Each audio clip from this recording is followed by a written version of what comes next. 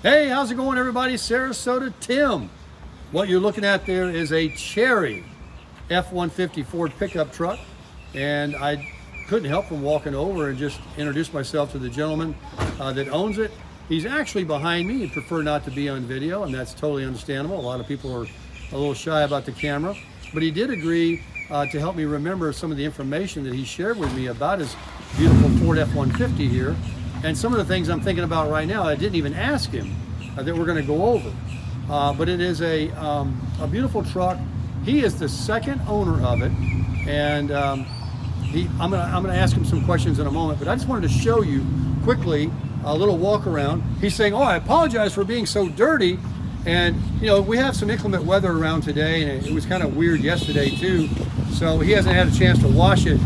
But man, when you first let this truck go by, first pull in, uh, as I did here at the inlet today, I just couldn't help from notice, you know, a classic truck. I mean, anybody would. And I said, that's got to be, you know, restored or whatever. And, you know, just looking at it, it's got these nice rims and everything. It's got the extra cab, which was um, a kind of a newer thing probably back in that day. I don't know uh, how popular.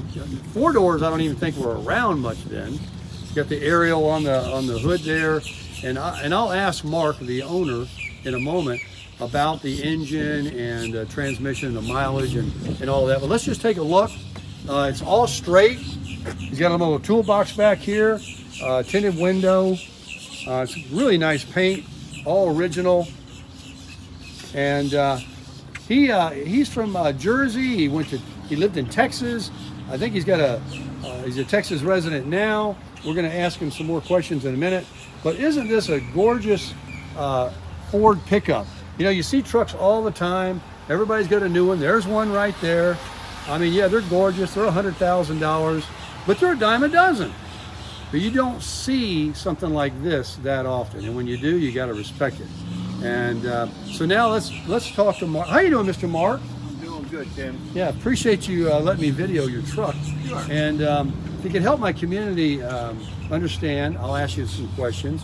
Uh, you told me the year again was 1994. Okay. And a little background, uh, how did you find it and who had it and how many people have had it? I found it on Marketplace in Texas and there was one original owner before me who had it before I purchased it four or five years ago. Oh, okay. And uh, you bought it four or five years ago. How many miles were it when you got it? About 176, I think. Wow, it doesn't even look like it has. But you know, 176,000, of course. Yes, but I mean, uh, uh, I guess for the year that's really low though. Yeah, it was. It really is. Indeed. Yeah. And, and now I got just about 200. Oh, okay. And is it giving you any problem? Do you ever do anything to it? Not wood, nothing. Is that right? Nope, I haven't. Um, done, what powertrain are you rolling with this? Um, I think it's a three. I, I don't even really remember what it is, to be honest with you. Well, is it a V8? yes. Okay, so I guess uh, uh, the 302 or the, I could the pop the 351. Yeah, why don't you do that? Let's take a look. Let's take a look. Is it outside or they have the inside hood release now? Uh, it's on the outside.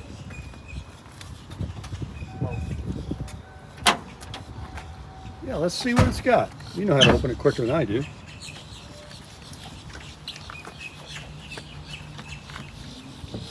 Do you happen to know the name of this color?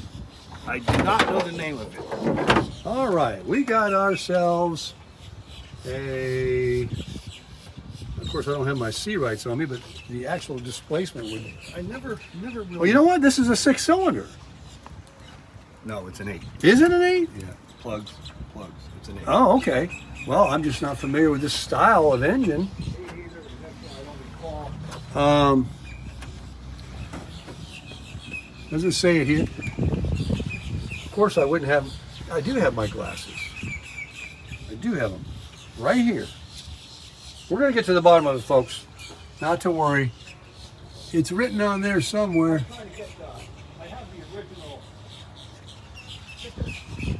Oh, you do? Oh, that that'll be great. He's got the original sticker. He says. Anyway, this is. Looks like you bought yourself a new battery not too long ago. Things like that, of course. Oh yeah. Look at this. Oh, this is great. This is great. Take a look at this. All right. It's an F series. uh, equipped with, um, let's see here, 22,967 original MSRP and a $900 discount for a uh, option package savings. Whoops, the wind's blowing here. 13 and 18 miles per gallon. And let's get the engine size here. Yeah, thanks. Uh, it's got a 5.8 liter. Oh man. Okay. Uh, two-wheel drive, 1994, with a four-speed automatic transmission. So, what kind of gas mileage do you think you're actually getting? That's probably pretty accurate. yeah. The 13 to 18, yeah. Yeah. Well, that's kind of about what they're getting today with even the six cylinders and. It has twin tanks on it. So Oh, you got twin tanks. I used to do that. Yeah. If you look on the other side, So how many total gallons? uh, It might say it on there. Yeah. I have 38 in my Toyota Tundra, which is a, a big fuel fuel tank. It might list it there. Let's see. 34.7. Woo! Yeah. You got some range. Yeah, yeah. Uh, have you ever towed anything with it? Yes, I have. Um, I was in the construction business, so I would tow my utility trailer from time to time with it. And uh, But I haven't pulled. I, I haven't pulled a boat with it. But can we uh, take a look at the interior? sure. Okay. Let's open it up. It's got the um, power windows. It's, it is an XLT. Uh, he said he put him a stereo system in there and a backup camera, I believe. And this is your uh, 60. Well, it's a um, now that pit, that centerpiece that that stays stationary, right? No, it But- flips up. I mean, the, the bottom part though. It only the two sides move forward and back.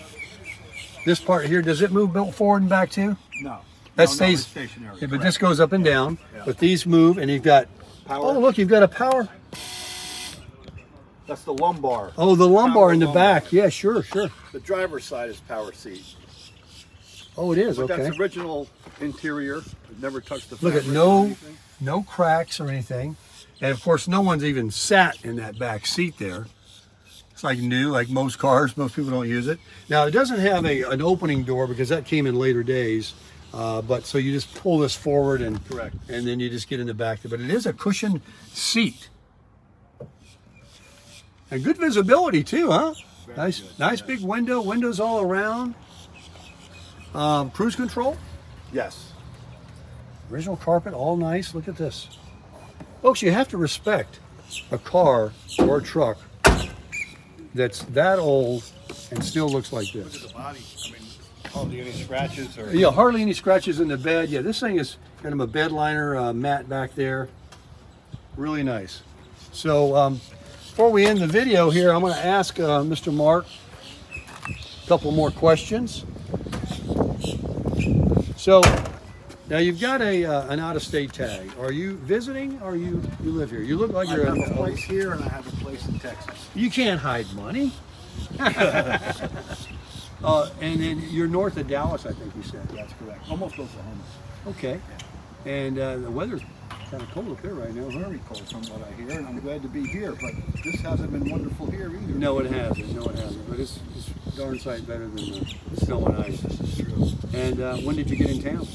Uh, I've been here for the last three months. Oh, Yes. okay. And you'll stay through the through the winter. Yes, sir. But you're not on a on a time schedule. No, I'm retired. Now, if Mark doesn't mind me asking him, because I did ask him earlier, I told him that my channel talks a lot about uh, Social Security, and I talk about how you know people um, you know should live now, because nobody's promised tomorrow. And I told Mark, I said, you know, I started getting mine at 62.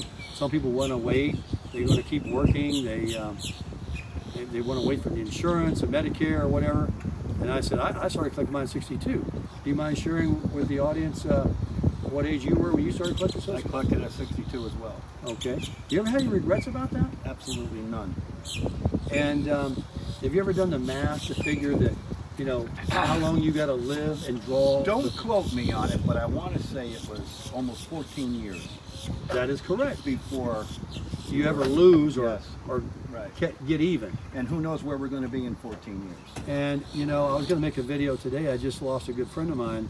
Uh, some people that wait till uh, after 62, they don't even see that day, Yeah. or they they draw at 62, or even die sooner. So it's really not just the money. It's about living your life and, and getting out of the uh, the working force.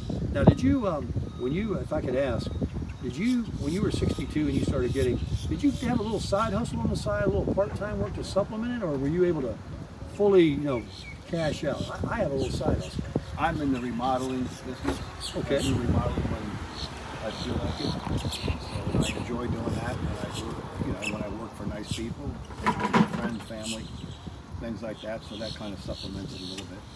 Is that what you did for a living, or you just have that kind of a trade as well? I did that for a living. So that's great because that's what I try to tell my uh, community is, you know, if you can get out of working the prison job where you work for somebody else and work for yourself, and you, you know, have your own hours, you pick your own jobs, and you know, you supplement your Social Security income. And Correct. Now, do you still do any kind of side hustling? You're very fit. A little Uh, bit here and there. Yeah, Yeah. whenever you feel like it, right? Whenever I feel like it. That's that's correct. Well, that's great.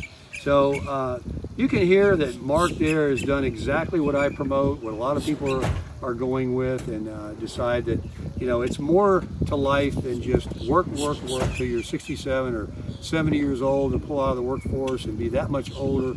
And another thing that I tell my community, and would you agree that? And and how old are you now, sir? 65. Okay, we're both 65. Uh, I tell people like, there's an analogy I use. If you look at a 12 year old and a 17 or 18 year old, that five or six years is a huge difference. Isn't this the same Huge. thing between a 62 year old and a 65 or 67 year old? Don't you start to see No question. that you're not the same as you were at 62? So Absolutely. do not. what you can now. That's exactly right. And, and Mark's doing it. He's, uh, he's going back and forth from Texas. What do you like to do when you're down here in Florida? Nothing. I like that. I like to go to the beach with my wife. Yeah, okay. Yeah, he's got a heck of a tan going on him. Well, listen, it was a very uh, pleasure meeting you and talking to you. I'm glad my uh, community got to see the truck here. Are you planning on keeping that one? Absolutely. Not for sale? No. And No, I've been offered lots of money All the it, time, right? All the time. Every time I pull into a car wash or a, or a gas station, somebody somebody wants uh, to buy it. I, I'm sure I'm sure that's true. Um, would we have any idea maybe what? I mean, it's worth what somebody will pay you for it, but is there any? I don't know what book book value is on it. Like you said, it's whatever somebody would give Exactly. me for it and whatever I would sell it for. Exactly. It's worth. Yeah. But it's worth a lot more to me than, than what the book value would be Sure. on it. Sure. And one thing Mark's got, plenty of money. I have, yeah, something I don't need. Well, listen, folks, thanks very much for watching the video. Give it a thumbs up and um, make sure that every day you realize that yesterday is gone. Tomorrow may not ever get here. Today is the day to rush it.